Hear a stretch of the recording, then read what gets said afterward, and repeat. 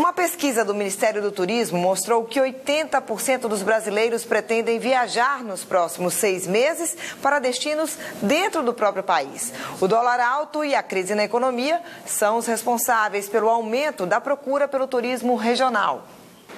Família inteira em viagem para comemorar, já com a filha adolescente, a oficialização da união do casal.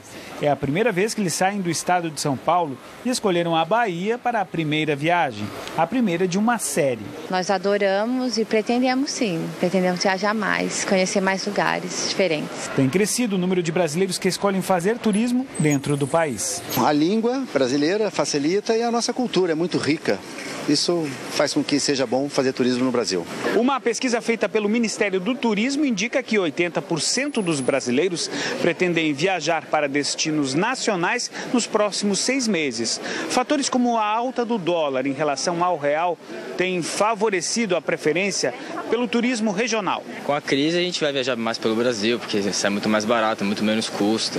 Eu, particularmente, gosto muito do exterior, mas se a gente for escolher viajar pelo Brasil, prefiro o Nordeste. Nos últimos anos, a infraestrutura turística do país vem melhorando e também em função da crise, o setor do turismo investe em promoções para atrair visitantes. Você pode fazer uma viagem dentro do Brasil de uma semana, o casal, aproximadamente dois mil, três mil reais, espacelado, tá certo?